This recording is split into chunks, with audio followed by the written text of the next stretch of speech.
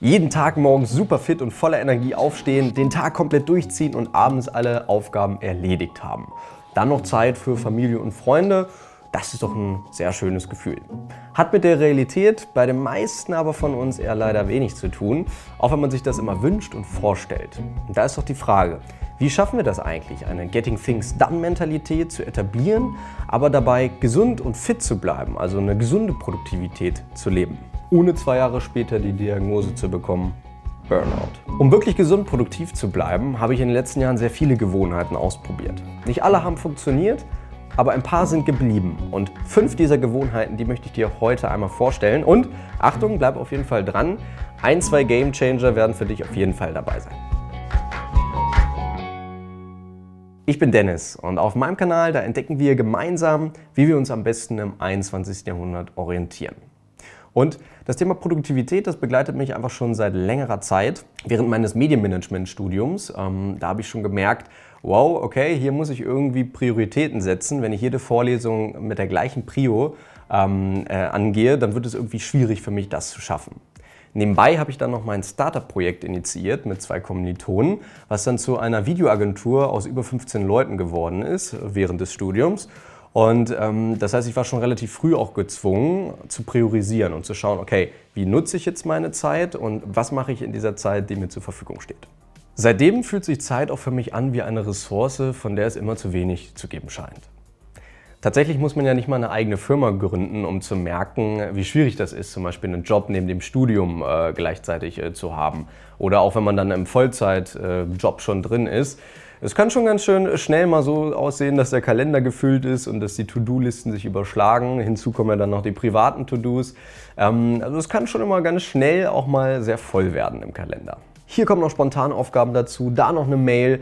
Und dann fällt es einem schon sehr schwer, jetzt zu priorisieren. Was ist denn wichtig? Auf einmal ist alles gleich wichtig. Man stolpert von einer Aufgabe in die nächste und der Chef oder der Professor sagt einem, was jetzt gerade als nächstes zu tun ist.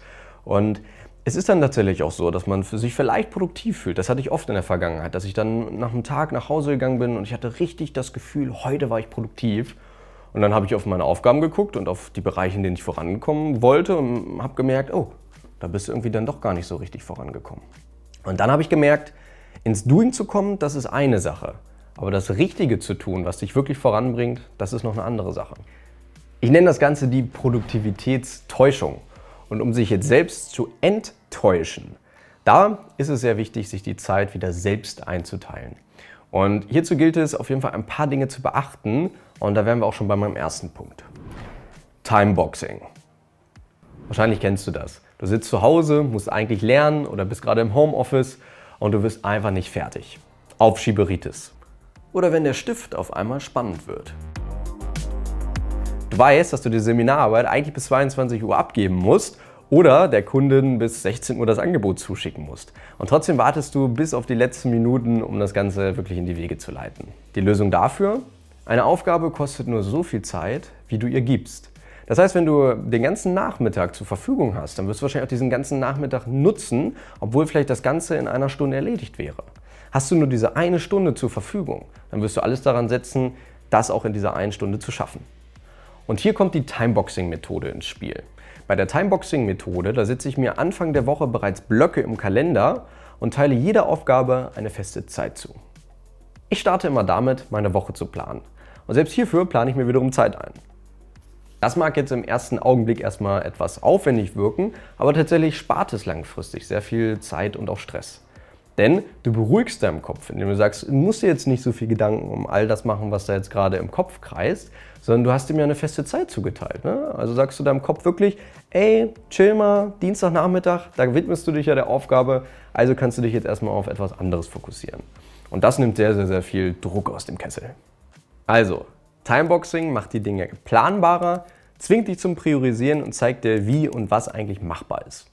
Also für mich ein super schönes Ding und ein echter Gamechanger. Und kleiner Tipp, als ich das angefangen habe, habe ich wirklich sehr optimistisch das Ganze eingeplant und wirklich nur so kurze Zeitblöcke für die einzelnen Aufgaben eingeplant, weil ich so viel schaffen wollte. Also sei nicht zu optimistisch, sondern lieber erstmal ein bisschen pessimistisch mit der Zeitanteilung. Das ist dann motivierender, als wenn man das Gefühl hat, man schafft das nicht. Und eine Sache, die mir noch ganz wichtig ist. Und zwar in den meisten Self-Help- oder Self-Development-Videos äh, geht es immer sehr stark um das Individuum. Und ich glaube aber, dass äh, diese Gewohnheiten und auch dieses Timeboxing, ähm, dass das auch unseren sozialen Beziehungen ziemlich gut tun kann. Weil ich hatte öfter das Problem in der Vergangenheit, ähm, dass mir einfach Gedanken in den Kopf äh, gerauscht sind, auch wenn ich mit meinem Gegenüber im Gespräch war. Und mir war es aber eigentlich immer wichtig, meinem Gegenüber zuzuhören. Ähm, und manchmal war es aber einfach nicht möglich, ohne dass ich, das, ohne dass ich dagegen irgendwie was tun konnte. Sondern sie waren einfach da, oh, ich muss ja das und das noch machen. Und äh, so dieses Zeit dafür nehmen, ähm, den Dingen eine Zeit zu geben, also auch mit dem Timeboxing unter anderem, hat auch geholfen, mehr präsent zu sein und mehr bei meinem Gegenüber zu sein. Weil mein Kopf weiß, hey, ich habe ja die Zeit später dafür, ist eingeplant, alles Roger. Und natürlich gelingt mir das noch nicht immer, aber wenn ich abschweife, dann versuche ich trotzdem den Fokus wieder zu finden. Und ähm, ich glaube, das ist eine ganz, ganz wichtige Sache, hier einfach nochmal kurz zu sagen. Es tut nicht nur dir gut, sondern auch vor allem, wie du in sozialen Beziehungen bist. Und ähm, genau, deswegen äh, mache ich das hier auch so gerne. Es geht nicht nur um uns selbst, sondern es geht auch darum, äh, wie interagieren wir mit unserer Umwelt. Das nur nochmal kurz so als Einschub. Ich bin kein Verfechter davon, jede Minute seines Lebens immer effizient und produktiv nutzen zu müssen. Es gibt auch einfach Tage, da hat man nicht so eine Energie oder braucht einfach Impulse von außen. Trotzdem, wenn man eine Aufgabe oder ein Projekt so richtig voranbringen will und auch fokussiert sein will und vielleicht auch mal in einen Flow kommen möchte, dann gilt es vor allem eins. Push-Benachrichtigungen, Notification Sounds und auch die Vibration vom Smartphone stelle ich in dieser Zeit komplett aus. Generell habe ich in den letzten Monaten Push-Benachrichtigungen vom Smartphone immer weiter zurückgefahren. Und das hat vor allem den Hintergrund, dass ich das beobachtet habe bei mir, dass ich dann zum Beispiel nach der Uhrzeit gucken wollte und dann wurde ich aber schon mit den WhatsApps oder Mails und so weiter konfrontiert, ohne dass ich das richtig wollte. Und dann bin ich schon raus aus meinem Flow.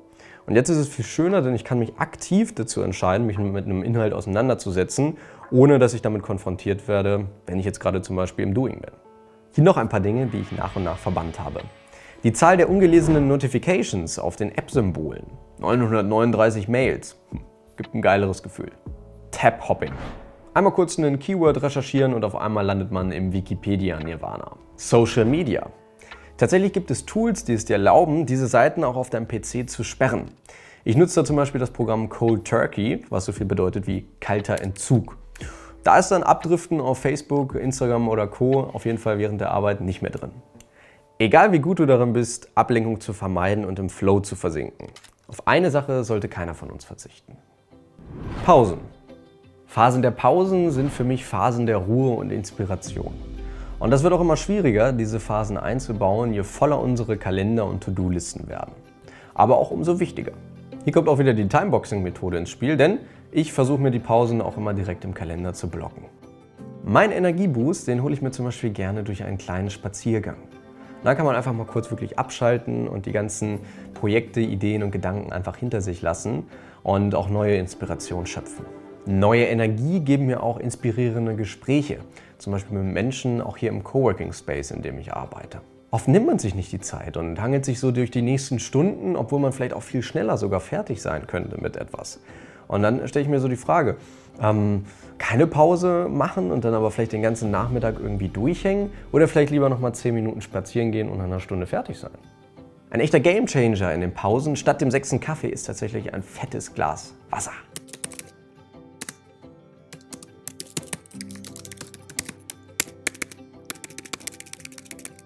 Viertens, Perfektionismus ablegen. Ich kannte mal jemanden, der spielte unglaublich gut Gitarre. Und der übte, übte, übte wie ein Weltmeister. Und viele Freunde haben mir auch schon gesagt, dass er wahnsinnig gut spielt und dass er das unbedingt mal irgendwo öffentlich machen sollte. Irgendwo mal vor einer Menge spielen oder vor Leuten. Ähm, und ja, was soll ich euch sagen? Er hat es tatsächlich nicht getan. Er hat sich noch nicht ready gefühlt und er hat sich noch nicht gut genug gefühlt. Und tatsächlich hat er so diese große Leidenschaft bis Stand heute nie richtig ausleben können, ähm, da er immer diesen blockierenden Glaubenssatz hatte, er sei nicht gut genug.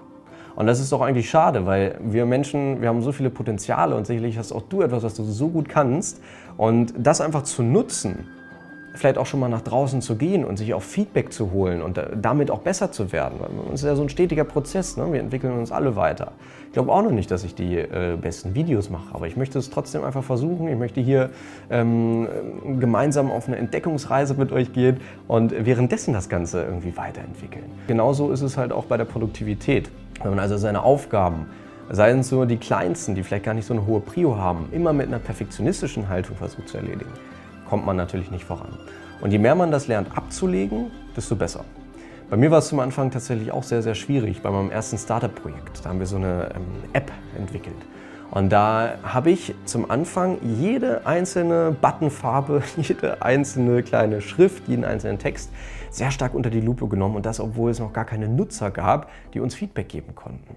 Und so hat man in seinem kleinen Kämmerlein entwickelt und sich selbst ausgebremst, obwohl man erstmal hätte ja auch das Ding fertig entwickeln können, rausgehen können und mit dem Feedback der Nutzer das Ganze viel schneller und vielleicht auch viel näher am Nutzer hätte weiterentwickeln können. Und genau das habe ich damals auch gelernt und das versuche ich jetzt auch hier zu etablieren in den Dingen, in denen ich ähm, ja, versuche besser zu werden, genau diese Haltung nicht mehr zu haben. Denn done is better than perfect. Gratis Nachhilfe geben, bei der Arbeit Überstunden machen, für Oma einkaufen und Freunden beim Umzug helfen. Man will ja da sein für sein Umfeld. Und irgendwann habe ich tatsächlich zu allem Ja gesagt. Ich wollte ja nicht derjenige sein, der nicht hilfsbereit ist. Und ich wollte auch nicht derjenige sein, von dem man immer sagt, der hat keine Zeit, der nimmt sich keine Zeit äh, für uns. Ähm, ich wollte ja der sein, der für alle da ist. Was ich dann herausgefunden habe, ist, dass es gar nicht so wichtig für die Menschen ist, dass man selbst Teil der Lösung ist. Natürlich, wenn es um den Gefallen geht, ähm, wirklich zwischen engen Freunden, dann ist das was anderes. Oder zum Beispiel bei der Oma, wenn man der beim Einkauf helfen will. Da freut er sich natürlich, wenn der Enkel mal vorbeiguckt. Aber zum Beispiel bei der Arbeit, da ist der Chef ja nur daran interessiert, zum Beispiel gewisse Zahlen im Quartal zu machen und da ist es nicht so wichtig, dass du das machst. Oder bei der Nachhilfe. Nachhilfe kann auch wer anders geben. Und ähm, so ist es vielleicht auch beim Umzug, das kann auch wer anders übernehmen. Und ich glaube, dass es tatsächlich oft so ein Fall ist, wo die Leute eigentlich nur an einer Lösung ihres Problems interessiert sind. Zum Beispiel kamen Bekannte auf mich zu und meinten, hey Dennis, du kannst doch Design. Ja, äh, erzähl mal, was braucht ihr denn? Ja, wir brauchen ein Hochzeitsalbum. Kannst du sowas gestalten? Und in so einem Fall sage ich, hey, das ist tatsächlich etwas, wenn ich das angehen würde, dann würde ich dafür auch Zeit investieren wollen, damit das auch schön und ordentlich wird. Und wenn ich gerade aber nicht die Zeit habe, dieses Hochzeitalbum zu designen, dann kann ich aber zumindest eine Seite empfehlen, wo das zum Beispiel viel einfacher geht, dass Sie das selber in die Hand nehmen können. Oder ich empfehle einen Freund, der sogar noch vielleicht viel designaffiner ist und ähm, der das dann machen kann. Das heißt, ich muss ja nicht immer Teil der Lösung sein. Das ist ein absoluter Gamechanger. Für mich ist das Ergebnis gesunder Produktivität nicht mehr zu lernen oder mehr zu arbeiten, sondern klüger. Zudem möchte ich sagen, wir leben in einem System, in dem der produktive Mensch oft mehr wert scheint als der unproduktive Mensch. Ich finde das schwierig und glaube, dass keiner von uns unter Druck gesetzt werden sollte, ständig wie eine Maschine funktionieren zu müssen. Hinzu kommen auch noch solche Themen wie psychische Krankheiten, unsere äh, Quarter-Life-Crisis statt der Midlife-Crisis, die vielleicht schon in den 20ern beginnt. Ähm, das sind verschiedene Aspekte, die natürlich Einfluss haben auf unsere persönliche Produktivität im Alltag. Lasst euch da nicht zu sehr unter Druck setzen. Mich würde am Ende noch interessieren, welche Gewohnheiten lebst du eigentlich bereits? Und vielleicht auch, welche kannst du noch empfehlen? Schreib das gerne unten einmal in die Kommentare. Und dann würde ich sagen, sehen wir uns im nächsten Video. Bleib gesund und gelassen und bis bald.